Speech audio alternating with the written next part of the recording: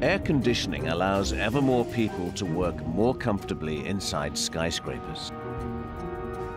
And taller skyscrapers, housing more workers, offer greater profits. The only problem is that bigger skyscrapers take much longer to build.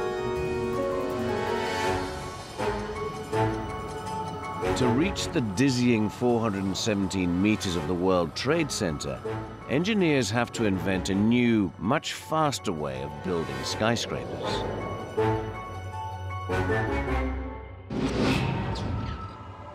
Long before the Twin Towers in New York become the tallest buildings in the world, their developers face a mammoth problem.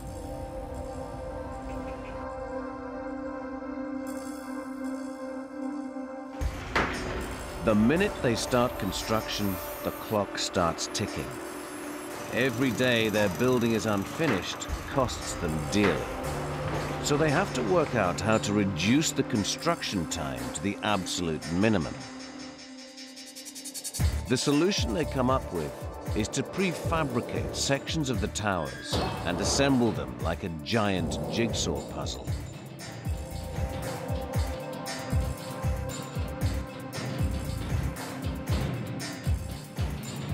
They build the sections off-site and ship them to the tower's construction site precisely when they are needed.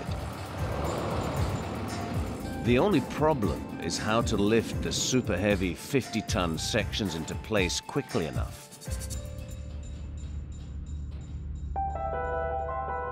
The traditional tool to build skyscrapers like the Empire State Building is the derrick crane. But to get derricks from one floor to the next, they have to be disassembled, carried up, and reassembled, a process that can take two days. Such a crane is not going to be fast enough for the World Trade Center. These buildings were higher than anything that had been constructed in the past. So naturally, we cast our eyes about the world to see what was there and what might be better suited to the project. The team find a revolutionary crane in Australia. It can lift 50 tons, and four of them can reach into every corner of a twin tower. And once they have assembled three floors, an amazing thing happens. The bottom of the crane releases, glides up three stories, and locks back into place. And then the whole crane jumps itself up to the next level. That's why it's called the kangaroo crane. They were fast. Um, well, they had some defects. Uh, they spread a lot of oil around, so had, it was a constant cleanup operation after them and so forth. But uh, they were fast and, and quite reliable.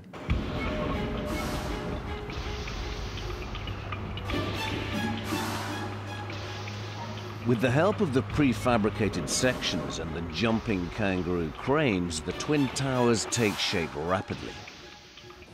The builders manage to finish up to two floors every week. In 1970, World Trade Tower 1 becomes the tallest building in the world. And while even more floors appear at the top, tenants move in at the bottom. Time is money.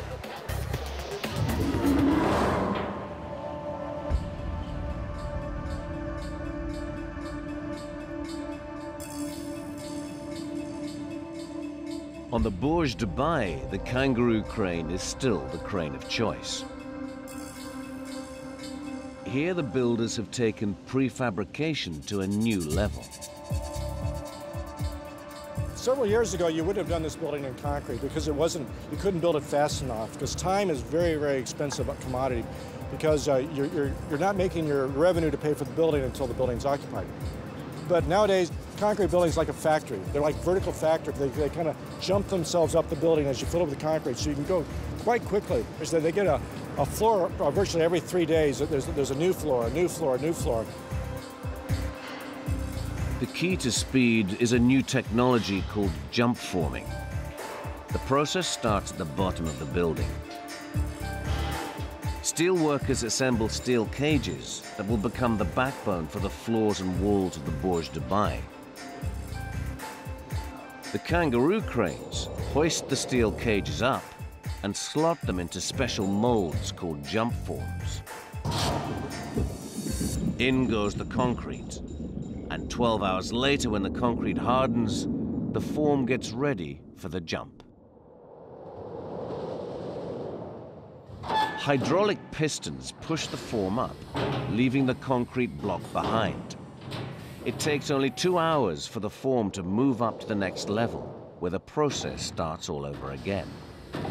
This way, the Burj Dubai is cast in place, layer by layer, like a giant wedding cake. But delivering concrete to the top of the tower gets more difficult with every floor.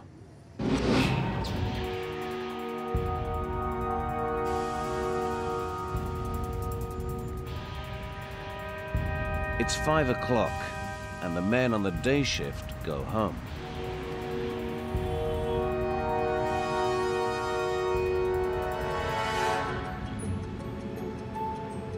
But on the top of the Burj Dubai, the casting crew are waiting for the concrete to arrive.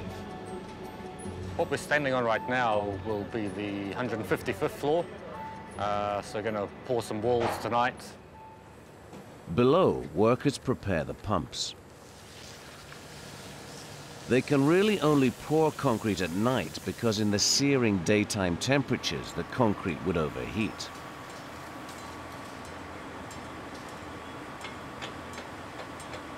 They need 630 horsepower pumps to cope with the 25 tons of concrete contained in each pipe. And they're about to pump this concrete higher than anyone has ever done before. An amazing challenge for the pumping system.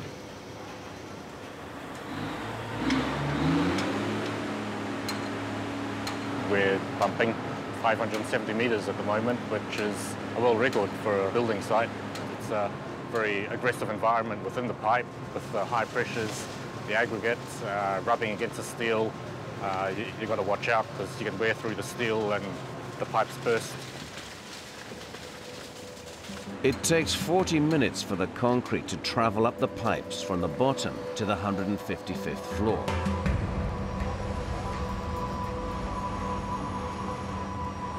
It's a combined effort of raw machine power and subtle chemistry.